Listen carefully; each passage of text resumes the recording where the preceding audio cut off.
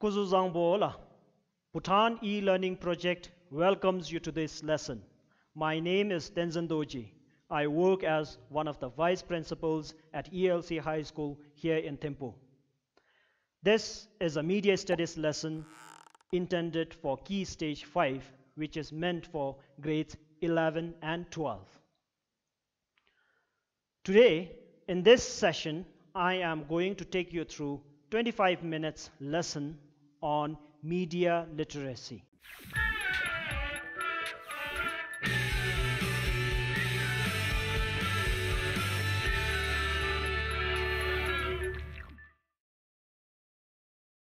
Now, I'm pretty sure that you have been able to capture quite a bit from the previous lesson, which was on what is media.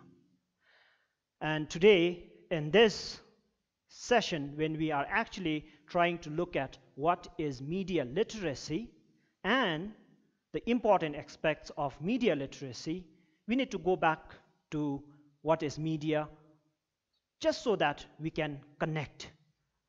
First, there are two words being used here media and literacy. Media, as you are well aware, is a mode or technology through which the information is spread or through which the information is channelized. For example, as you already know, TV, newspapers, books, anything through which the information is channelized as media.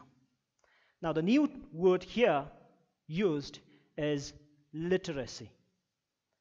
It literally means competence or knowledge in specified in a specified area. So here we are looking at competence or knowledge in the area of media.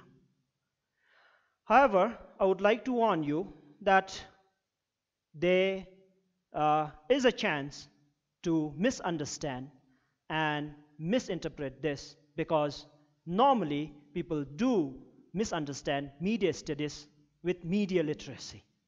Media studies is the area of the subject, area of the study, subject area of the study. Today, we are not looking at that. We are trying to understand media literacy. So please be warned about that. Okay, to go forward, let's try to look at, first look at a couple of definitions regarding what media literacy is. Now, this definition here, provided by Fran Trampist, says that media literacy is about asking smart questions and making smart choices. Smart questions, smart choices. Now, what do you understand from that? How do we interpret that?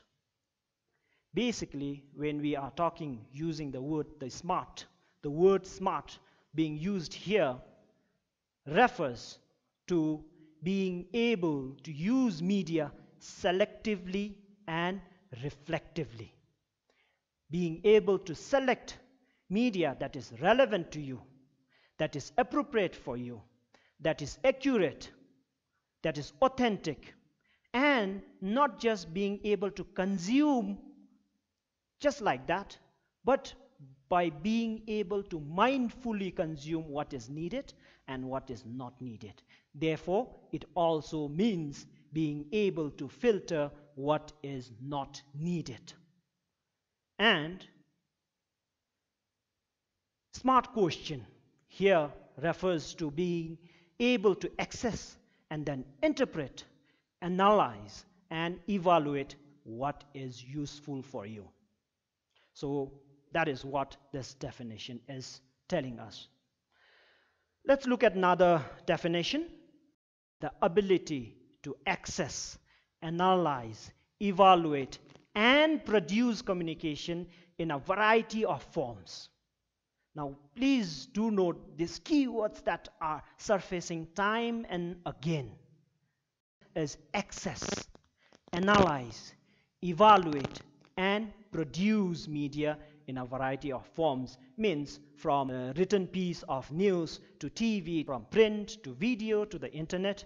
To be able to produce media is also known as media literacy. First access. When we are talking about access as you know the literal meaning of access is some form of doorway being able to get what you want being able to get to the source of the information or whatever you want, that is access. However, when we are talking about access, we are talking about accessing information that is useful, that is relevant, and that is appropriate for you. You have to examine who are you in what position are you trying to access this information?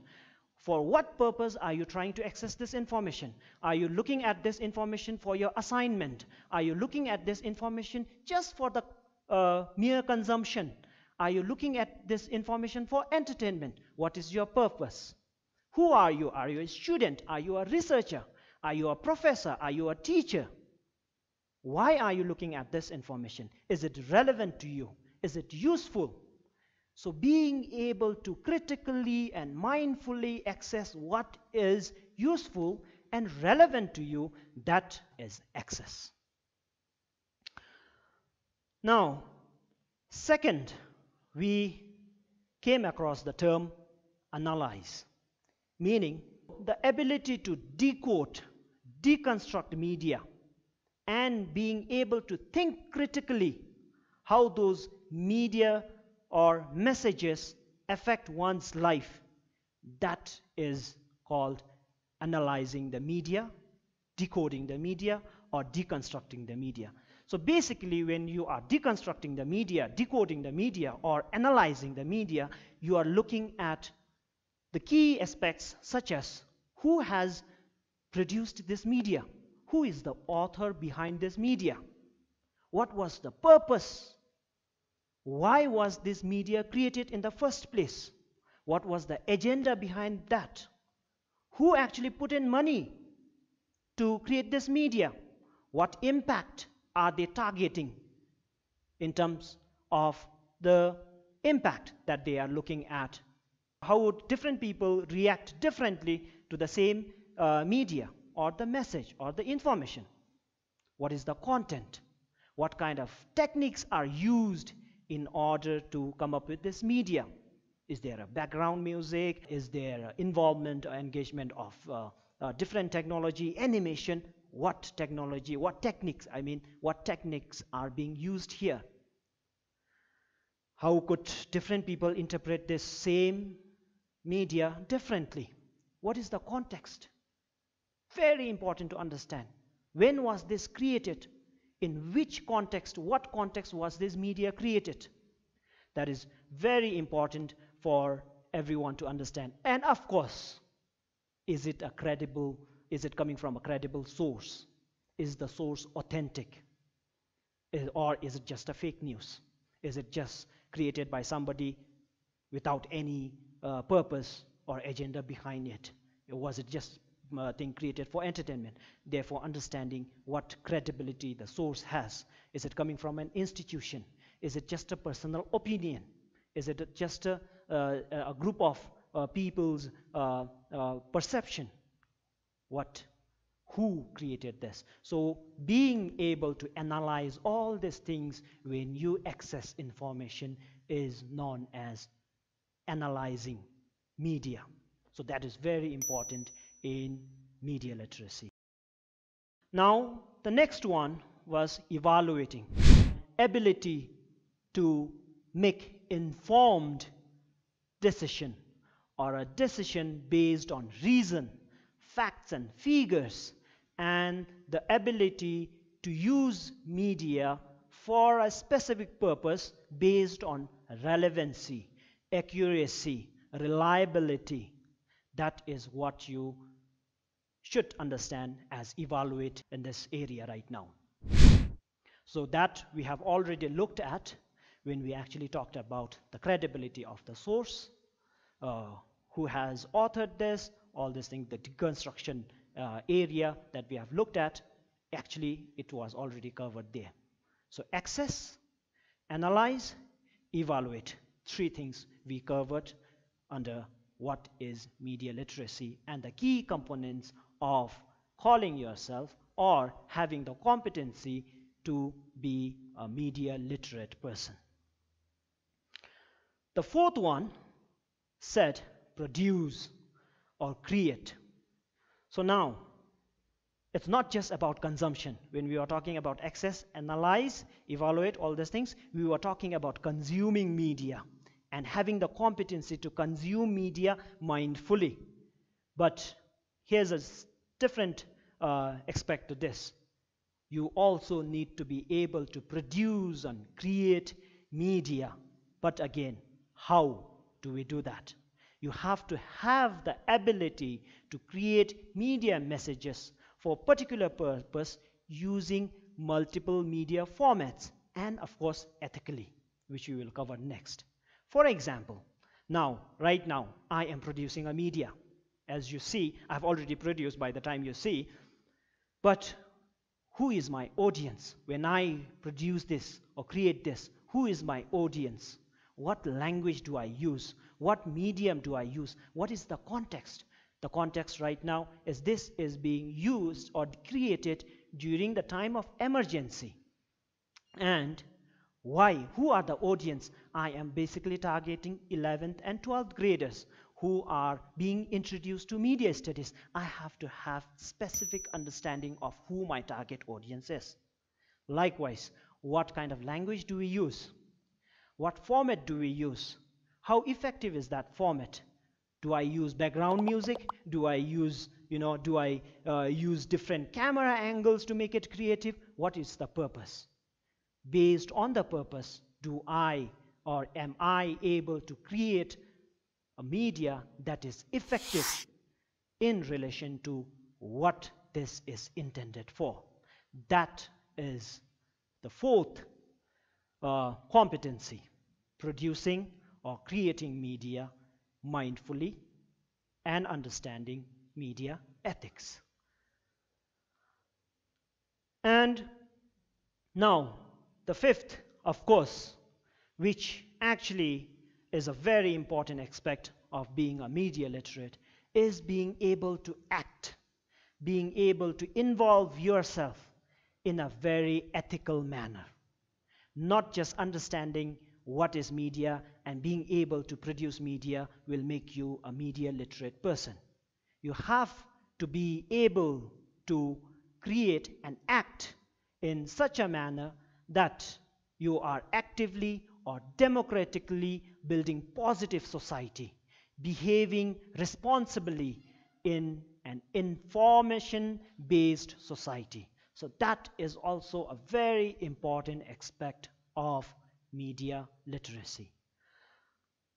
So, we have looked at the keywords. Please remember the keywords access, analyze, evaluate, and then create or produce media, and overall being ethical and acting mindfully when we are dealing with media is what is media literacy. I hope you are following me. Now, if we just leave it to what is media literacy based on those keywords or the key components, it is very, again, likely to be uh, challenged by lots of misconceptions. People do miscon- uh, uh, misunderstand media literacy due to various reasons therefore, I am going to highlight in the next segment what is not media literacy. I repeat, what is not media literacy. It's not just important, it's not just enough to understand what is media literacy. You have to also understand what is not media literacy. So, what is not media literacy? Something that is most commonly misunderstood is media bashing.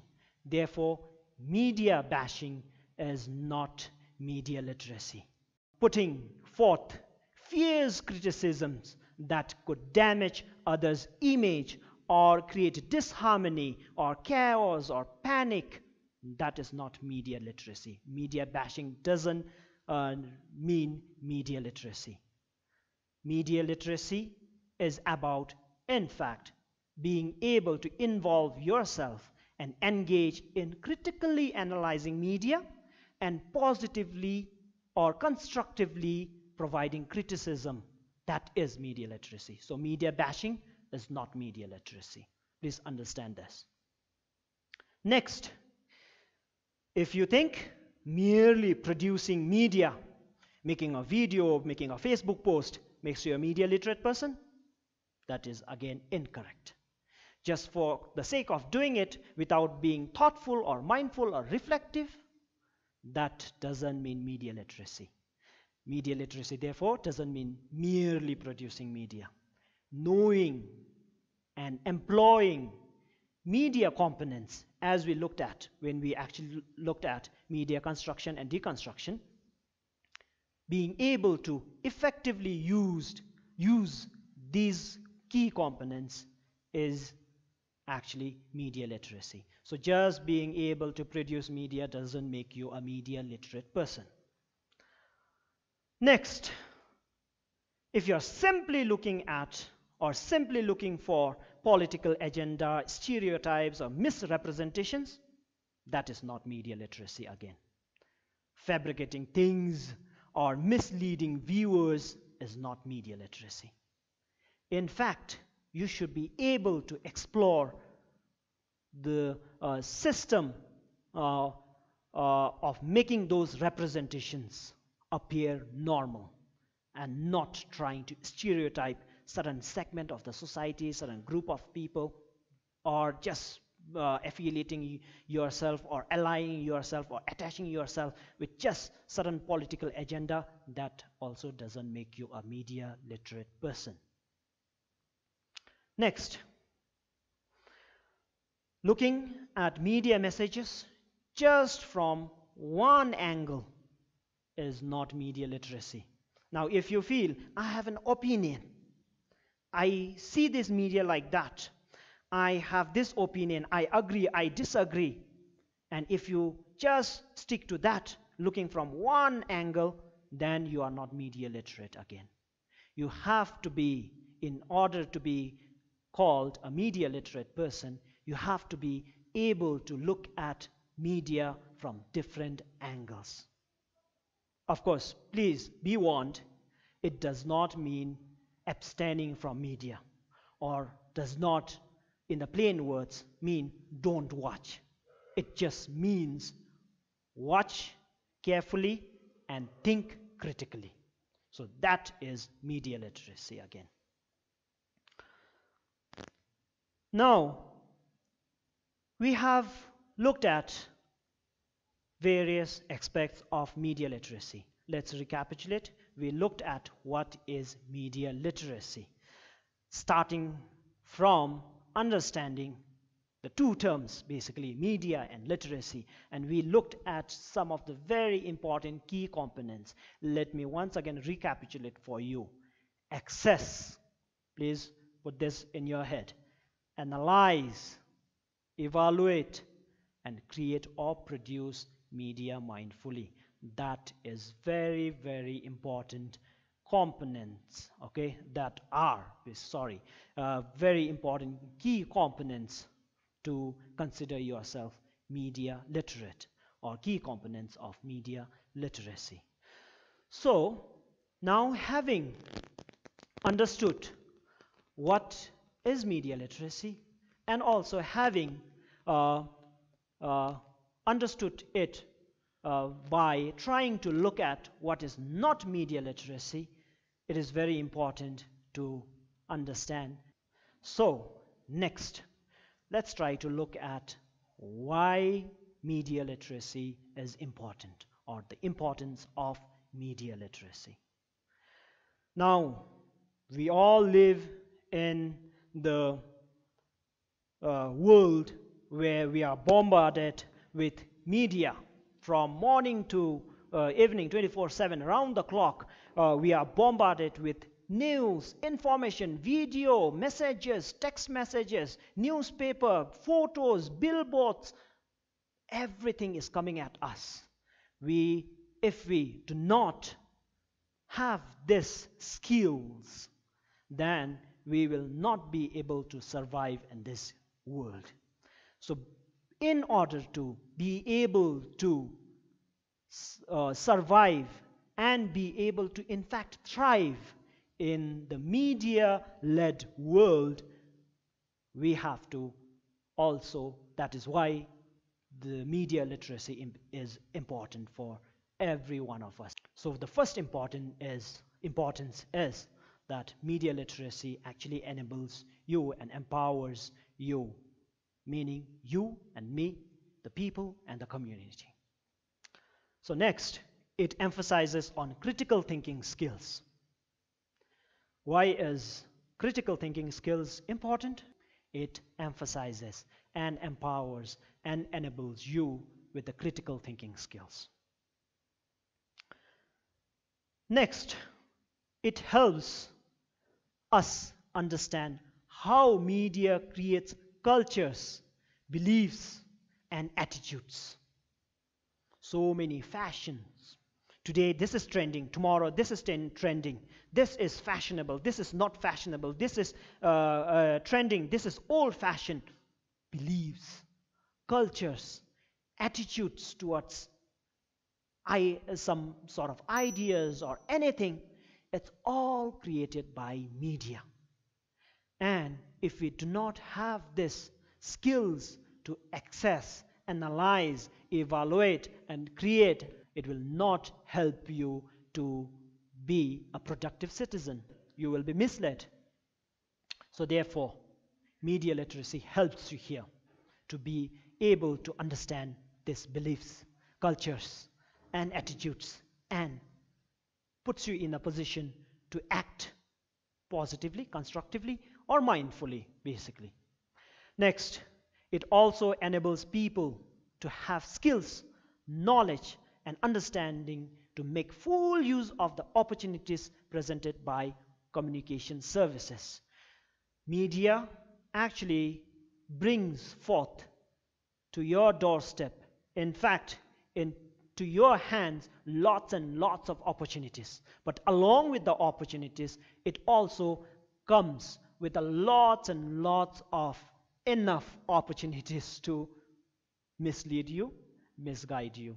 So, therefore, it media literacy will help you segregate this and be mindful of what is not important and be uh, put you in a position to grab these opportunities that are presented to you by these communication services coming at you be it advertisement be it some sort of opportunities study opportunities uh, uh, training opportunities anything it will come at you being able to uh, uh grab something that is relevant to you useful to you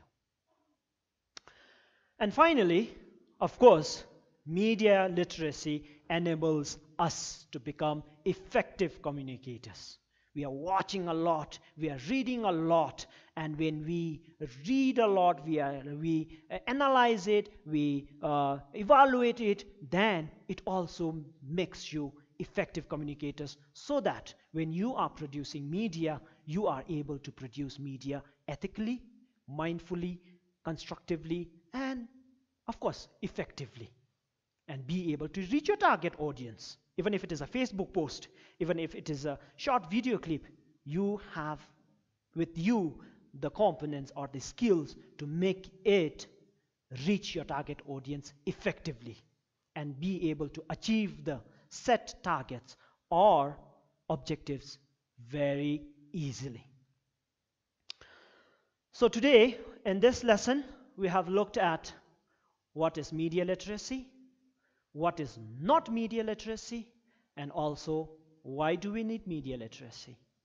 I hope you understood uh, what was presented to you and please do remember access, analyze, evaluate, and produce or create media mindfully. So, take a second, ask yourself a question. Do you think you are a media literate person? Do you think you understand what is media literacy? Do you have those key components or the key skills needed to be a media literate? These are very important. These are important way beyond your examinations and classroom lessons. This is what you need from, from getting up in the morning till you sleep and perhaps even in your dreams because we are bombarded by media. And coming back, please remember this. Access, analyze, evaluate, produce or create media mindfully, ethically, critically. That is all for today. I hope you enjoyed this lesson. I would like to um, offer my heartfelt gratitude for all those people in the field who contributed in producing this media, uh, media studies lesson on media literacy. And I hope you enjoyed the lesson. We will see you in the next lesson. Thank you very much.